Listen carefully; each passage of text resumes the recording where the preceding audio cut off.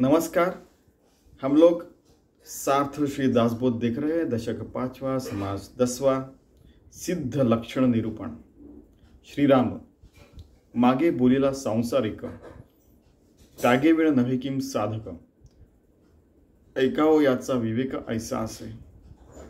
पिछले समाज में किसी ने पूछा था कि सांसारिक आदमी को साधना कैसे करनी चाहिए? वो संसार में रह के भी साधु कैसे बन सकता है? साधु की डेफिनेशन क्या है?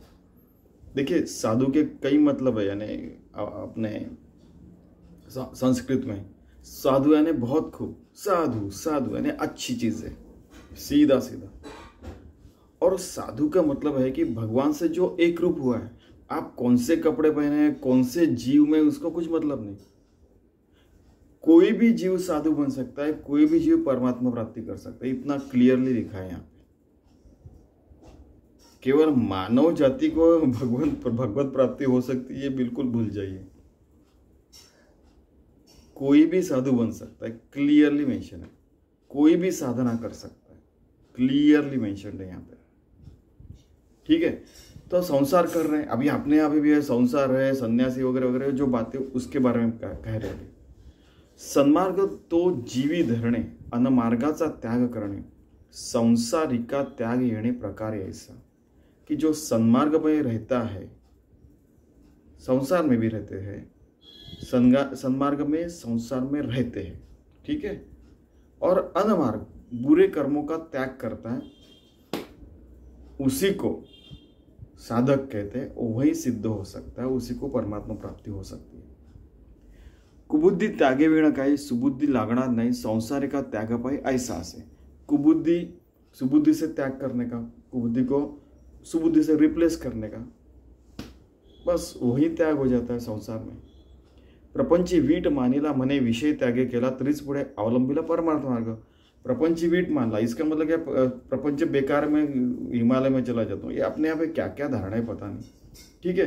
तो ऐसा थोड़ी होता है. अपने मन से उसको त्याग करने का, बुरी चीज़ों का, सन्मार्ग पे रहने का, अच्छे काम ही करने का। इसको ही परमार्थ कहते हैं। त्याग घडे अभावाचा, त्याग घडे संशयाचा, त्याग घडे अज्ञानाचा शनैशय यानी धीरे धीरे। कि अभाव को भाव से त्याग करने का, भगवान नहीं, उसको भगवान है से त्याग करने का। संशय को निसंशयता जैसे मुँह को कहा, ढूंढ रहे बंदे, मैं तो तेरे पास और आखिर में वो कहते कि, मैं तो हूँ विश्वास में। संशय को विश्वास से त्याग करने का अज्ञान को ज्ञान से त्याग करने का धीरे धीरे ऐसा सूक्ष्म अंतर त्याग उभयास गड़े सांग निस्पृहास ब्रह्म, बाह्य त्याग विशेष है कि जो संन्यास है, उसको बाह्य त्याग भी घटता है और अंतर त्याग भी घटता है। लेकिन वो सूक्ष्मता से अंदर में त्याग होना अपने मन में, बुद्धि में, अंतरात्मा में त्याग घटना, ये सबसे बड़ी चीज़ है। चाहे वो आप संसार में रहे या तो सन्यासी रहो। कितना क्लियर दिया है। कोई भी उठता है, कुछ भी कहता है, वो नहीं। ऐसे लोगों का सुनना चाहिए। समर्थ रामदास, ज्ञानेश्वर महाराज, श्री कृष्ण, उपनिषद, ठीक है? संसार का ठाई ठाई बाह्य त्याग, घड़े का ही, नित्य ने में श्रवण नहीं त्याग है कि संसारिक जो है, उनको बाह्यता घट नहीं सकता है। लेकिन फिर क्या करना चाहिए? तो अपने यहाँ पे तो ये है ना, सबसे बड़े रिसर्चर ऋषि मुनि जो है, वैसे ये सुगृणी रहती है। वो दिन भर काम में रहते हैं, फिर भी वो फिर आजकल तो ये इंटरनेट निकला है। तो वो बहुत सारे जो स्तोत्र रहते हैं, श्री सूक्त, पुरुष सूक्त, फिर क्या क्या आप बोलिए वो सारे सुंदर कांड पाठ वगैरह सब चलते रहते हैं। दिन भर में ऐसे तो कई लोग देखे मैंने कि पूरा का पूरा रामायण का पाठ पढ़ किसी ने सुना है, पूरा का पूरा नौ नौ घंटे लगते फिर भी काम में, काम करते करते वो हो जाता है, सुन सुनने आता है। ठीक है? बाद में हर बहुत बहुत प्रकार के स्तोत्र सुनते हैं। तो नित्य नियम श्रवण त्यागी नहीं हो सकता, यानी कि इसका मतलब है कि ये एक प्रकार सा प्रकार का त्याग ही है कि काम करते समय फालतू चीज़ें सुनने से अच्छा है कि अच्छी चीज़ें सुने?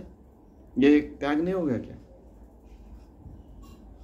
तो संसार में रह के भी हुए हो सकता है। तो आप बोलेंगे कि क्या मैं ऐसे ऑफ़िस का काम करते समय क्या मैं हनुमान चालीसा लगाओ क्या अरे आप कह, कहीं भी जाइए उल्टी बातें करने वाले लोग रहते लेकिन अच्छी बातें करने वाले भी लोग हैं।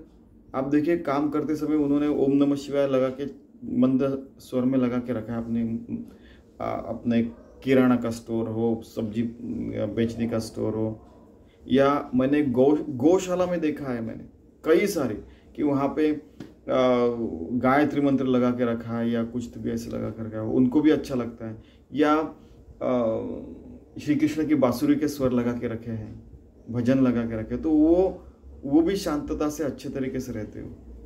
और बात यह है कि प्राणी मात्र शांत हो जाते हैं। भजन सुनने के बाद।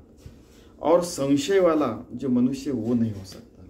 तो इसलिए आगे में वो संशय वाला भी आने वाला है। और सांसारिक का ठाई ठाई कि बार बार बाह्य त्याग तो नहीं हो सकता, लेकिन और नित्य में श्रवण हो नहीं सकता, अगर आप त्याग नहीं करते कि आपने ठहरा लिया। जैसे स्वामी माधवनाथ मेरे सदगुरु थे, वो शनिचर और रविवार के दिन एक विशेष ध्यान और ये रखते थे कि सुबह नौ बजे से साढ़े दस बजे तक प्रवचन रहेगा, ध्यान रहेगा, पैंतालीस मिनट और पैंतालीस मिनट का प्रवचन रहेगा। तो लोग आते थे, क्योंकि बाकी के रविवार को ही आ सकते हैं ना। बाकी के छः दिन, सात दिन तो आदमी, यानी पाँच दिन छः दिन तो आदमी नौकरी में रहता था। उस समय सोमवार से शनिवार का रहता था, सोमवार से शनिवार तक काम रहता था। अभी फिर वो चार दिन का वीक और पाँच दिन का वीक अभी होने लगा है वो भी। ठीक है। तो कुछ न कुछ त्याग किए बगैर अपने को श्रवण नहीं मिलेगा कुछ न कुछ त्याग करके हमें समय नहीं मिलेगा अपने साधना के लिए थोड़ा सा तो त्याग करना ही चाहिए ऐसा कह रहे हैं। फिटली आशंका स्वभाव है त्यागे विना साधक नव्हे पुढे कथेचा अन्वय सावध आहे का थोड़ा सा त्याग किए बगैर और साशंकता मन से निकाले बगैर विश्वास रखे बगैर हम लोग सा, साधक हो नहीं सकते।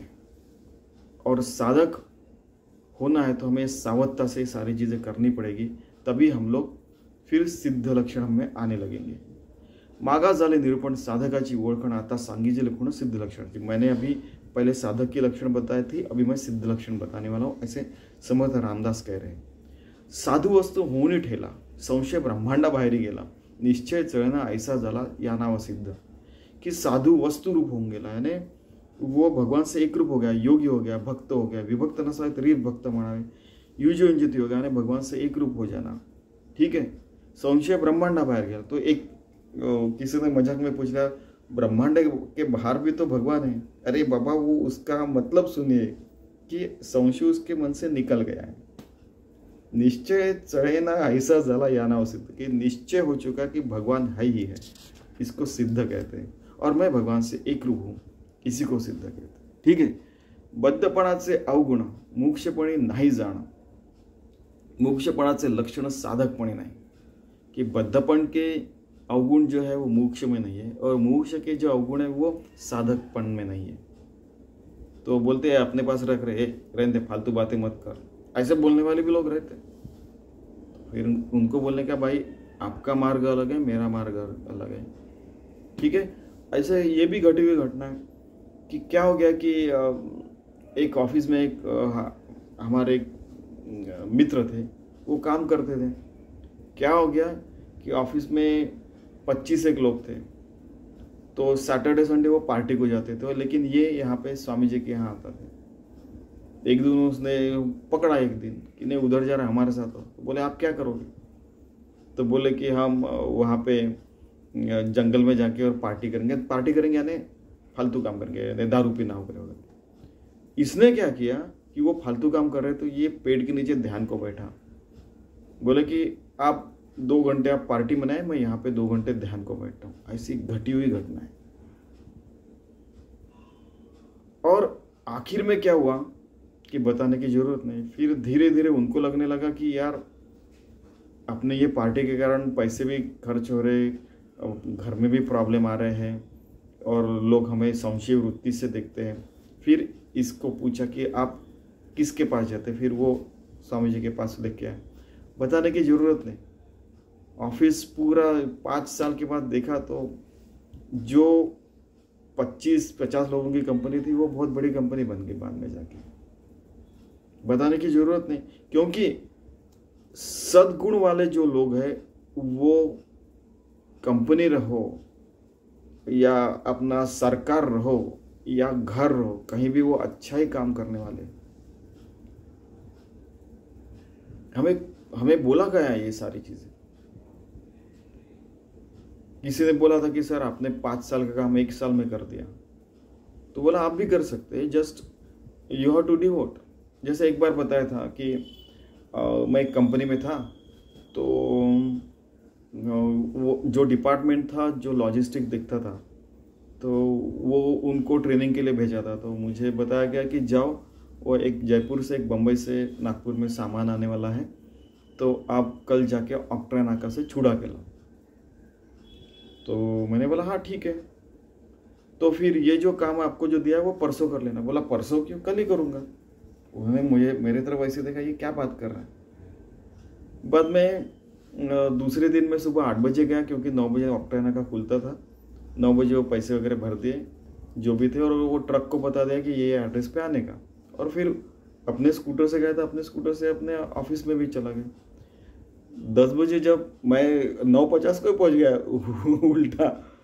तो दस बजे जब साहब है पूछा कि क्या आप गए नहीं वहाँ पे?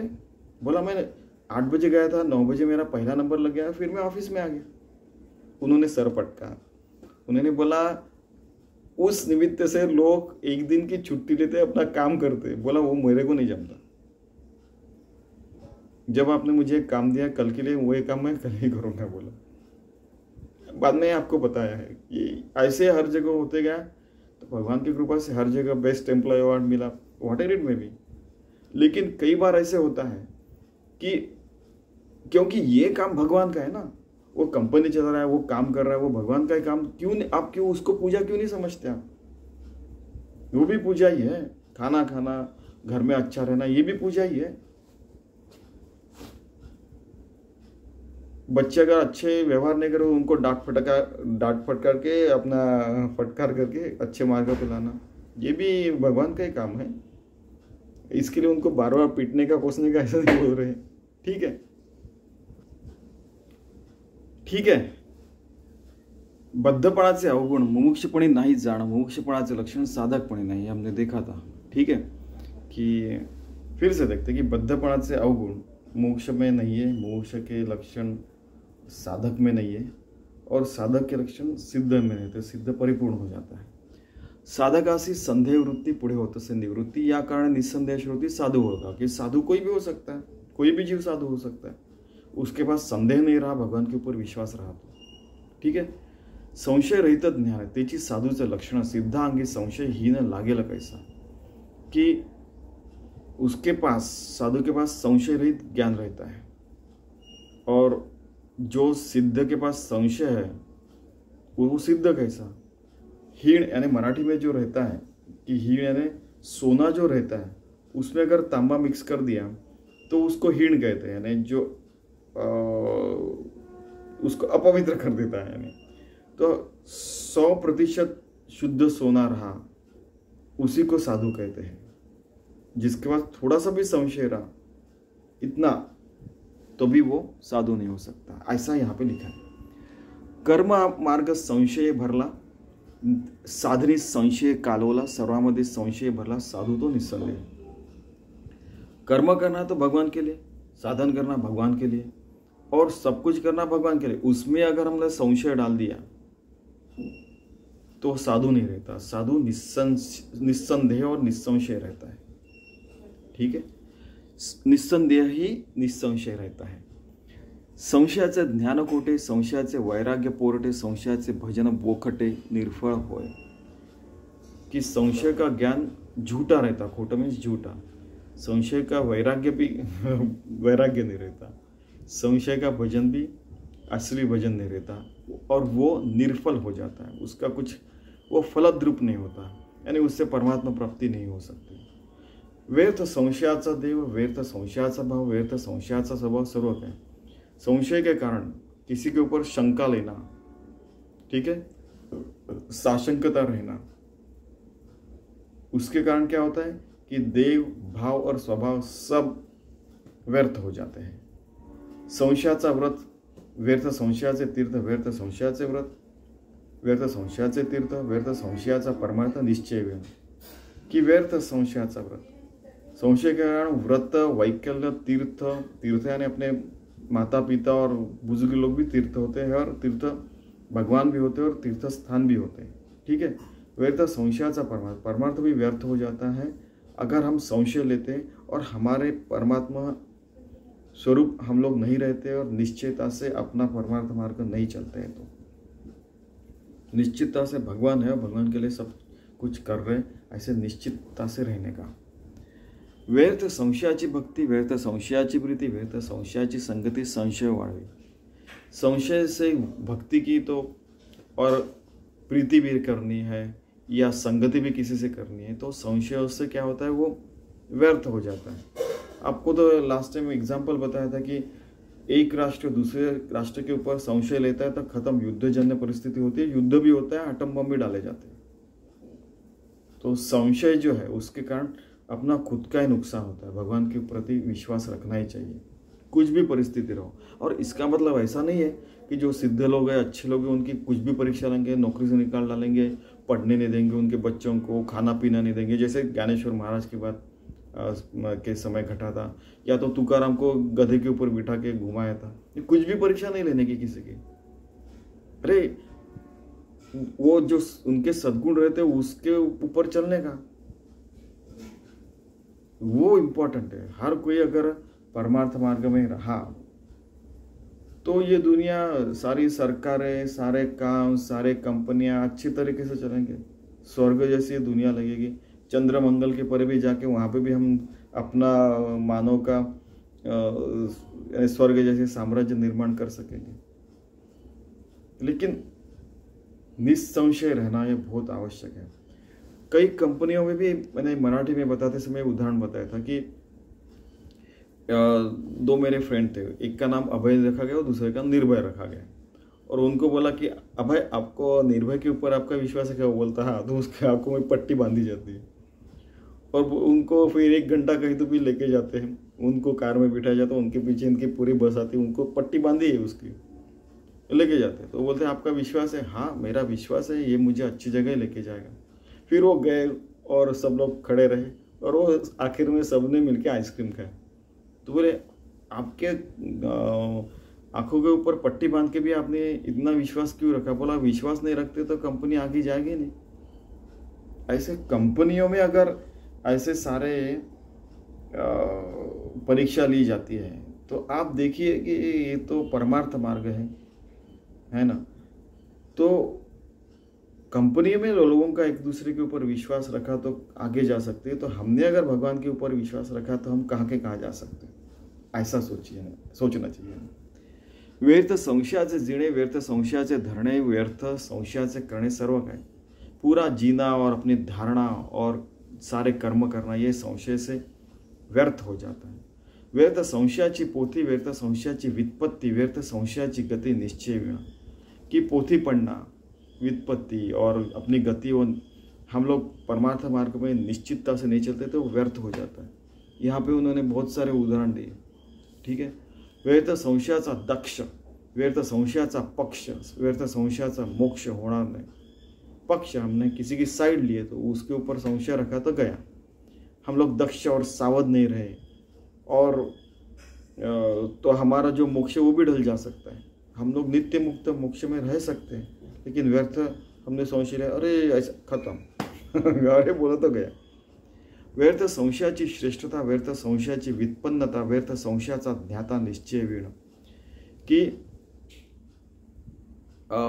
व्यर्थ संशयाचा संत, व्यर्थ संशयाचा पंडित, व्यर्थ संशयाचा भविष्य निश्चय बने कि, संत, पंडित, बहुश्रुत, श्रेष्ठता, व्युत्पन्नता और ज्ञाता, ये सारे हम लोग भगवान के ऊपर निश्चितता से नहीं चलते हैं, विश्वास नहीं रखते तो व्यर्थ हो जाता है. निश्चय विण सर्व काही, अणुमात्र ते प्रमाण नाही, व्यर्थची पडेले प्रवाही संदेहाचे. अणुमात्र भी संशय रहा, संदेह रहा. तो हम जिस मार्ग से जा रहे हैं, वो व्यर्थ हो जाता है. परमार्थ मार्ग पूरा विश्वास का मार्ग है. भगवान के ऊपर विश्वास का, भगवान से एकरूप होने का, सतत एकरूप रहने का मार्ग है. निश्चय जे बोलणे ते अवघेची कंटाळवाणे. बाष्क बोलीचे बाचा गुणे निरार्थक। अगर हम निश्चितता से नहीं कहते हैं तो ये फालतू बात कर रहा है ऐसा लगता है। ऐसे समर्थ रामदास कह रहे हैं। असो निश्चय विण जे वल्गणा वल्गणा ते अवघीच विटंबना निसंशय काही समाधान उरी नाही। निश्चयता से नहीं कहा तो सारी चीज़ें फालतू लगती है। बस समाधान नहीं मिलता इतना इस समझिए। म्हणून संदेह रहित ध्यान निश्चयाचे समाधान तेची सिद्धाचं लक्षण निश्चय से कि संदेह रहित जो ज्ञान रहता है, वही निश्चितता से हम लोग उस ज्ञान में रहते हैं, आत्मज्ञान में रहते हैं। वही सिद्ध का लक्षण कहा गया कौन सा ज्ञान? युजो युंजुति योगा। विभक्त नशा तरी भक्त मना। इसी को मुख्य ज्ञान कहते हैं कि भगवान से एक रूप रहने का। ये पंचमहाभूतों का देह कभी ना कभी मरने वाला है, वो पंचमहाभूतों में घुल मिल जाने वाला है। इसका कुछ भी बन सकता है, आगे जाके। लेकिन हम लोग परमात्मा से एक रूप रहता हम मुक्ति, सिद्धता पा चुके रहते हैं। फिर वो कुछ भी होना आगे जाके। है कि नहीं? तो श्रोता करी प्रश्न, निश्चय करावा कौन मुख्य निश्चयाचं लक्षण मज निरोपावे अब ये कह रहे हैं कि जो सिद्ध रहते हैं तो और उनका जो निश्चय रहता है तो उस निश्चय के क्या लक्षण हैं? ऐसा कौन सा निश्चय करना चाहिए? ऐक, निश्चय तो ऐसा मुख्य देव है कैसा? नाना देवाचा वळसा करूची नहीं कि बहुत सारे भगवान हैं बहुत सारी देवी है देवता है बहुत सारे धर्म है उनके भी देवी देवता है लेकिन आखिर में एक ही भगवान है. उसको समझना चाहिए और उससे एक रूप होना चाहिए और उससे एक रूप रहते समय निश्चय रखना चाहिए कि भगवान है और मुझसे मैं एक रूप हूँ। इसी को निश्चय कहते हैं। यहाँ पे लिखा है। जेणे निर्मिले सचराचर त्याचा करावा विचार शुद्ध विवेक परमेश्वर ओळखावा. जो परमेश्वर है उसी ने सारे चर और अचर, चर चलने वाले आचार्य ने स्थिर जो है उन्होंने भगवान ने निर्माण किए। तो ऐसा विवेक करना चाहिए और परमेश्वर पहचानना चाहिए, उससे एक रूप रहना चाहिए, एक रूप रहना चाहिए। ऐसा निश्चय रहना चाहिए, ऐसे ही सिद्ध स्वरूप रहना चाहिए। मुख्य देव तो कवण भक्ताचे कैसे लक्षण? असत्य सांडून ओळखण सत्याची कि मुख्य भगवान कौन है? तो वो परमात्मा स्वरूप है। असत्य डाल के वही सत्य को पकड़ना और वो सत्य के मार्ग के ऊपर ही चलने का। इसी को परमार्थ मार्ग कहते हैं वो जो रहता है, उसी को सिद्ध कहते हैं, जो भगवान से एक रूप रहता है। आपल्या देवास ओळखावे, मग मी कोण हे पाहावे, संग त्यागोने रहावे वस्तु अपने भगवान को पहचानने का और मैं कौन हूँ ऐसे समझने का और उससे एक रूप रहने का, उस वस्तु से। वस्तु यानी क्या? परमात्मा ब्रह्म तत्व ठीक है? योगी भक्त बन के उससे एक रूप रह के होके रहने का। तो फिर हम बन चुके हैं वगैरह वगैरह, बहुत सारे, उसमें भी बहुत सारी चीज़ें रहती है। क्या आप बन चुके हैं? अच्छा अच्छा देखते हैं, हम लोग आपका चेक करते हैं। तो क्या है कि, ये घटी हुई घटना ये भी। अरे, रात को एक बजे ठक ठक करके उठाया आप तो बन चुके हैं, फिर आपको उठाया तो कैसे लगा? अरे, मैंने साधुओं की ऐसे विचित्र परीक्षा ली जाती है। बोलना ही बेकार है। तोडावा बंधनाचा संशय करावा मोक्षाचा निश्चय पहावा भूतांचा अन्वय व्यतिरेक असे की बंधन, सारे जो मन में ही बंधन रहते हैं ना तोड़ डालने का संशय तोड़ डालने का मोक्ष का निश्चय करने का और वैसे ही रहने का। उसमें अभी क्या है कि पूर्व पक्षी से सिद्धांत पहावा प्रकृतीचा अंत. मग पहावा, निवांत, निश्चय देवाचा. कि उसमें क्या रहता है कि कि एक है वाला मार्ग है एक नहीं वाला मार्ग है ठीक है तो ये बता वो बता रहे हैं कि नहीं, ये भी नहीं, ये भी नहीं, ये भी नहीं, ये परमात्मा ये नहीं ये नहीं, पंचमहाभूत नहीं है, नहीं टेबल भी नहीं, कुर्सी भी नहीं, ये भी नहीं परमात्मा. नहीं नहीं करके परमात्मा को तरफ़ जाने का। एक, ये भी परमात्मा है ये भी परमात्मा है ये भी परमात्मा ऐसे करते करते परमात्मा स्वरूप हो जाने का। एक नहीं वाला मार्ग है और एक है वाला मार्ग है। तो आपको जो चुनना है, चुने, या तो दोनों को बैलेंस करके आप परमात्मा प्राप्ति भी कर सकते हैं। ऐसे यहाँ पे दिया है, ठीक है? यानी कौन सा? वो व्यतिरेक वाला जो था तो उसमें बताया, ठीक है? दूसरा पूर्व पक्ष वाला जो है पूर्व पक्ष यानी क्या? कि मैं देह हूँ और मैं भक्ति कर रहा हूँ। और सिद्ध, और सिद्धांत और जो है, आखिर में क्या रहता है कि पूर्व पक्ष और सिद्धांत। सिद्धांत में क्या रहता है, मैं परमात्मा हूँ, ठीक है?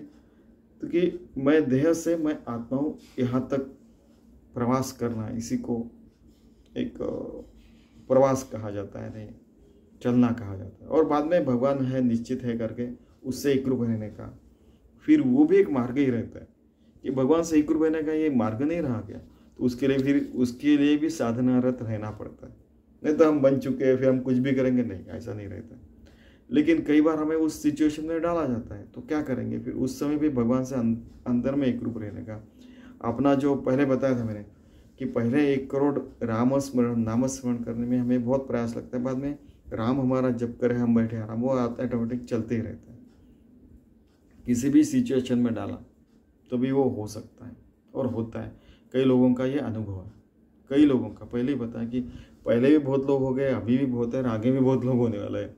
अब आज आप अगर सिद्ध बन रहे तो आपने कुछ विशेष किया, ऐसा नहीं। लेकिन ये बनना बहुत आवश्यक है। तभी हम लखा चौरासी फेरे की जो सुंदर नर्तन उपाय उसकी सार्थकता कर सकते हैं। देहाचे योगे संशय खरी समाधानाचा क्षय चोळ निदान निश्चय आत्मत्वाचा।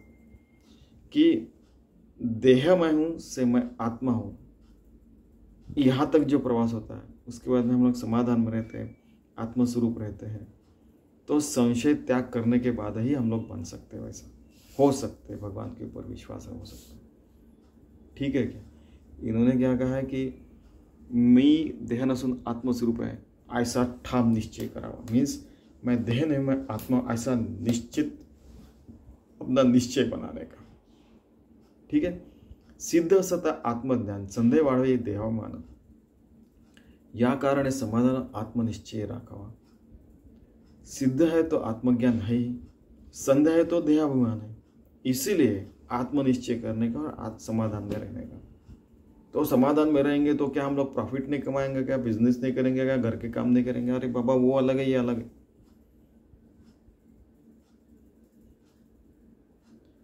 आप अगर बिना उल्टे पाल्टे धंधे करके आप कमाते हैं और प्रॉफिट भी कमाते वो ठीक है।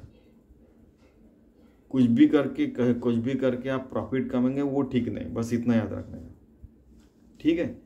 आत्मबुद्धि निश्चयाची तेची दशा मोक्षश्रीची अहमात्मा है कदीची विसरू नये इन्होंने अभी एक सिद्धांत कहा है और स्वामी जी कहते कि ये दिन में दस बार रटो।